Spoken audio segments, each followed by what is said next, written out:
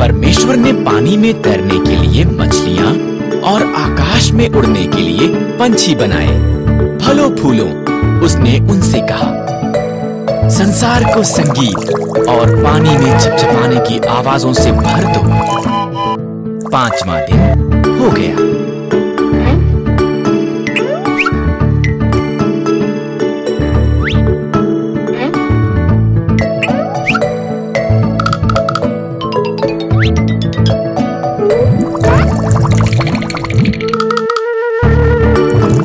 परमेश्वर ने पानी को एक स्थान पर इकट्ठा किया और सूखी भूमि दिखाई दी। उसने सूखी भूमि को पृथ्वी कहा और इकट्ठे हुए पानी को समंदर कहा।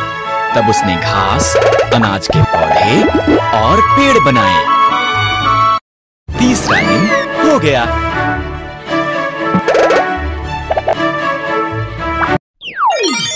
तब परमेश्वर ने आकाश में ज्योतियाँ बनाई। उसने दिन के लिए सूर्य, रात के लिए चंद्रमा और सभी तारे बनाए। चौथा दिन हो गया।